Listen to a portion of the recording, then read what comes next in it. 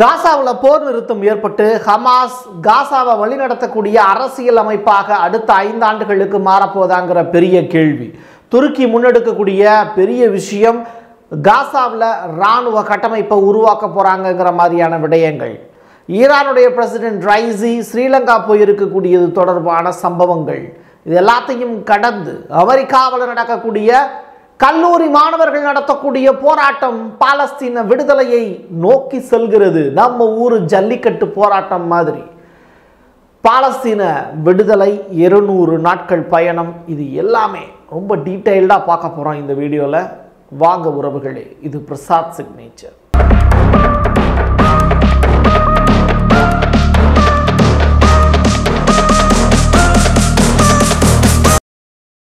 காசாவுக்கு இடையில பதற்றமான ஒரு சூழ்நிலை நிலவிக்கிட்டு இருக்கும்போது ஈரானுடைய பிரசிடென்ட் ரைசி அவர்கள் டைரக்டா பாகிஸ்தான் போயிட்டு பாகிஸ்தான்லேருந்து டைரக்டா ஈரான் வராமல் அடுத்து ஸ்ரீலங்காவுக்கு போயிருக்கார். ஸ்ரீலங்காவுக்கு போய் அங்கே என்ன சம்பவத்தை பண்ணியிருக்காருன்னு கேட்டிங்கன்னா ஐந்து முக்கியமான ஒப்பந்தங்களில் கையெழுத்திட்டு இருக்கார். இது அமெரிக்காவை கொதிப்படைய வச்சிருக்கு. உலகத்தினுடைய நாட்டாமையை கேட்காம எப்படி நீ அங்கே போகலாம் அப்படின்லாம் பேசிக்கிட்டு இருக்காங்க. பட் ஸ்ரீலங்காவுக்கு அவர் போகக்கூடிய பிளான் அப்படிங்கிறது ஏற்கனவே முன்னக்கூட்டியே தீர்மானிக்கப்பட்டது தான் இப்போ ஸ்ரீலங்காவுக்கு வந்து பார்த்திங்கன்னா அமெரிக்க இராணுவ துருப்புகள் வந்து அனுப்பி வச்சுருக்காங்க.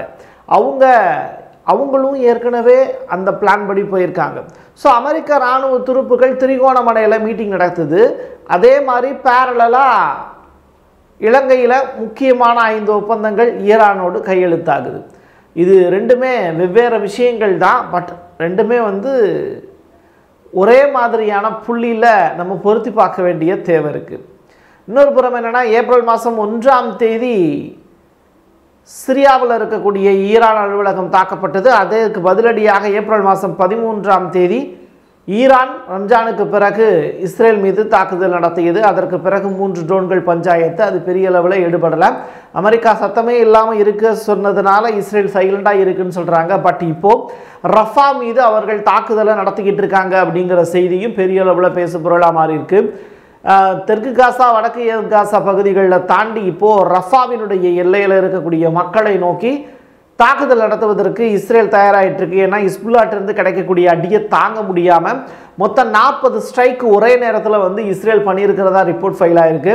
ஆனால் இது எந்த அளவுக்கு உண்மை பொய் அப்படிங்கிறதும் இஸ்புல்லாவினுடைய பாதிக்கும் மேற்பட்ட வீரர்களை கொன்று விட்டதாக இஸ்ரேல் சொல்லியிருக்கக்கூடிய பொய்க்கு பின்னாடி இருக்கக்கூடிய காரணங்களையும் அடுத்தடுத்து சொல்லக்கூடிய நியூஸ் மூலியமாக உங்களுக்கு புரிய வைக்க முயற்சி பண்ணுறேன் அமெரிக்காவினுடைய ஹவுஸ் அதனுடைய கவுன்சில் ஹெட்டு மெம்பர் சொல்லலாம் ஜான்சன் அவர் டைரக்டாக மாணவர்களை சந்தித்து அமெரிக்காவில் உங்கள் போராட்டத்துக்கெல்லாம் நாங்கள் சரி பண்ணி வைக்கிறோம் அப்படின்னு சொல்லிட்டு நம்பிக்கை ஊட்டக்கூடிய வார்த்தைகள்லாம் சொல்லியிருக்கார். ஆனால் அவரையே சிறைபிடிச்சிட்டாங்க மாணவர்கள். தொடர்ந்து அமெரிக்காவில் நடக்கக்கூடிய அந்த போராட்டம் அப்படிங்கிறது நம்ம ஊர் ஜல்லிக்கட்டு நினைவுபடுத்துது. மெரினா புரட்சி மாதிரி அமெரிக்காவில் பாலஸ்தீன ஆதரவாளர்கள் ஒன்று சேர்ந்து நடத்த இருக்கக்கூடிய போராட்டம். எல்லாருமே மாணவர்கள் தான். யூதர்களுக்கு எதிராக நாங்கள் போராட்டம் நடத்தலை. பாலஸ்தீன மக்கள் வந்து செத்து போயிட்டு இருக்காங்க அவங்கள காப்பாற்றுங்க முப்பத்தி நான்காயிரம் மக்கள் இறந்து போயிருக்காங்க. மீதி இருக்கக்கூடிய மக்களை காப்பாற்றுங்க அவங்களுக்கு தேவையான அடிப்படை வசதிகள் செஞ்சு கொடுங்க அப்படின்னு ப்ரோ பாலஸ்தீன் மாணவர்கள் ஒன்றாக சேர்ந்து நடத்தி இருக்கக்கூடிய போராட்டம் ஒரு டசன் கணக்கான பல்கலைக்கழகத்தையே முடக்கியிருக்கு. பன்னிரெண்டுக்கும் மேற்பட்ட பல்கலைக்கழகங்கள் இந்த பல்கலை கீழே இருக்கக்கூடிய கல்லூரிகள் இந்த கல்லூரிகளில் இருக்கக்கூடிய மாணவர்கள் உள்ளிருப்பு போராட்டங்கள் நடத்தி வெகுவாக கவனத்தை ஈர்த்து கொண்டிருக்கிறார்கள். அவர்களை வந்து கைது செய்யக்கூடிய நடவடிக்கையில் காவல்துறை வந்து முயன்றது. அதில் மாணவர்களுக்கும் அந்த போலீஸாருக்கும் இடையில் தாக்குதல் நடந்தது. இதுவே மற்ற கண்ட்ரிகளில் நடந்தது அப்படின்னா அந்த நாட்டினுடைய அமைதி சீர்குலைந்து விட்டது. அந்த நாட்டினுடைய பிரசிடென்ட்டோ பிரைம் மினிஸ்டரோ பதவி விலக வேண்டும். அந்த ராணுவ ஆட்சி நிறுவ போகிறோம்னு அமெரிக்கா வந்து பெரிய அளவில் குரல் கொடுக்கும். இப்போ அமெரிக்காவில் மாணவர்கள் நடத்தி இருக்கக்கூடிய போராட்டத்துக்கு அமெரிக்கா என்ன பதில் சொல்ல போகிறது அப்படிங்கிற பெரும் கேள்வியை சமூக ஊடகங்களில் இருக்கக்கூடிய கருத்தியலாளர்கள் பெரிய அளவிலான கேள்விகளை முன்வைக்கிறாங்க. ஆனால் அதுக்கான பதில் தெரியலையே என்ன வரப்போகுதுன்னு? துருக்கியினுடைய கேபிட்டல் அங்கரா.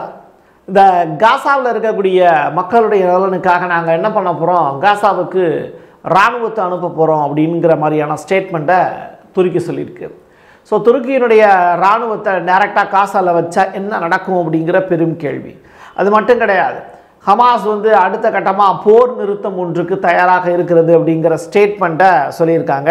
அது மட்டும் கிடையாது சொன்னது யாருன்னா political head Khalil al Haima அப்படிங்கிற நபர் தான் ஹமாஸுடைய ஹெட்டு தான் சொல்லியிருக்காங்க. ஸோ அது மட்டும் சொன்னதோடு மட்டும் இல்லாமல் ஆயிரத்தி தொள்ளாயிரத்தி அறுபத்தி ஏழில் வந்து ஒரு மேப் இருந்ததுல்ல. அந்த மேப்பின் அடிப்படையில் பாலஸ்தீனுடைய நிலங்கள் திருப்பி கொடுக்கப்பட்டது அப்படின்னா பாலஸ்தீன தனிநாடு அப்படிங்கிற கோரிக்கை நிறைவேற்றப்பட்டது அப்படின்னா அடுத்த ஐந்து ஆண்டுகளுக்கு எந்த விதமான போருமே பண்ணாமல் ஹமாஸ் மக்கள் இயக்கமாக இருந்து மக்களை ஆட்சி பண்ணக்கூடிய ஒரு அதிகாரத்தில் உட்கார்ந்து அந்த மக்களை வழிநடத்துவதற்கு தயாராக இருக்கிறதுங்கிற ஸ்டேட்மெண்ட்டை பதிவு செஞ்சுருக்காங்க. ரஃபா இலையில கூந்திருக்கக்கூடிய மக்களை ஒட்டுமொத்தமாக கொள்வதற்கு ஐடிஎஃப் வீரர்கள் புறப்பட்டு இருக்கக்கூடிய இந்த நேரத்தில் இஸ்புல்லாவோடு டைரெக்டாக சண்டை போட்டுக்கிட்டு இருக்கக்கூடிய இந்த நேரத்தில் க ஹமாஸ் வந்து பார்த்திங்கன்னா இப்போது சத்தமே இல்லாமல் அவங்களுடைய வேலையை சிறப்பாக செஞ்சுக்கிட்டு இருக்காங்க. குறிப்பாக எக்வா சின்வார் வந்து சுரங்கத்திலிருந்து வெளியில் வந்துட்டார் அப்படின்னும் அவர் நிறையா இப்போது இருக்கக்கூடிய தலைவர்களெல்லாம் சந்திச்சிருக்காரு அப்படிங்கிற மாதிரியான செய்திகள்லாம் வெளியில் வந்துக்கிட்டு இருக்குது அந்த பிணைய கைதிகளில் ஒருத்தர் வந்து பேசியிருக்கக்கூடிய காட்சிகள் வந்து நெதன்யாகுவை கெட்ட வார்த்தையில் மட்டும்தான் திட்டல. அந்தளவுக்கு வந்து மோசமான வார்த்தைகள் எல்லாம் பயன்படுத்திக்கிட்டு இருக்காரு.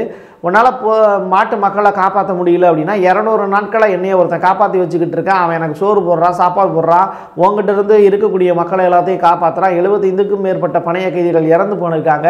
அதுக்கெல்லாம் காரணம் ஹமாஸ் கிடையாது நெதன்யாகு தான் அப்படின்னு சொல்லிட்டு அந்த பிணைய கைதியாக ஹமாஸ் கிட்ட இருக்கக்கூடிய நபரே ஸ்டேட்மெண்ட்டாக சொல்ல வச்சதுங்கிறதெல்லாம் பெரிய விஷயம்.